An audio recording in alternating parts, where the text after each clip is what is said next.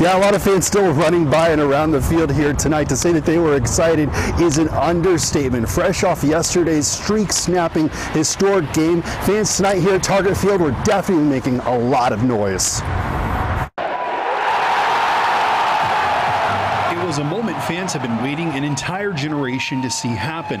After snapping a 19 year postseason losing streak on Tuesday, the Twins won up themselves and advanced in the playoffs for the first time in 21 years.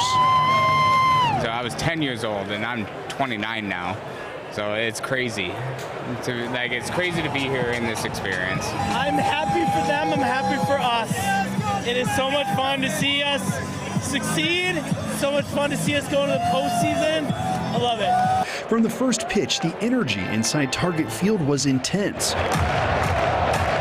With spectators on the edge of their seats cheering for the Twins and occasionally booing the umps.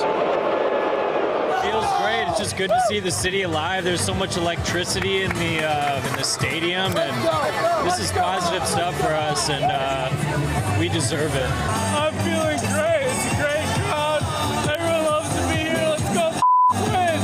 Now, as both the players and fans celebrate, they look forward to a trip to Houston and the possibilities the playoffs could bring.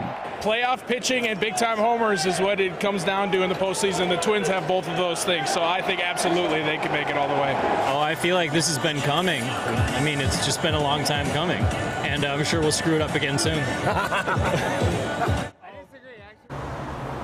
Now, tickets for the next series against the Houston Astros will go on sale on Friday. Games one and two on Saturday and Sunday will be played in Houston, but here on Saturday and Sunday at Target Field, there will be a special watch party for fans. Game three, of course, will be back here at Target Field next Tuesday, and hopefully, Frank, they'll return here with a two game lead. Am I right? Wouldn't that be cool? All right, fingers crossed, Alan. Thank you. Be awesome.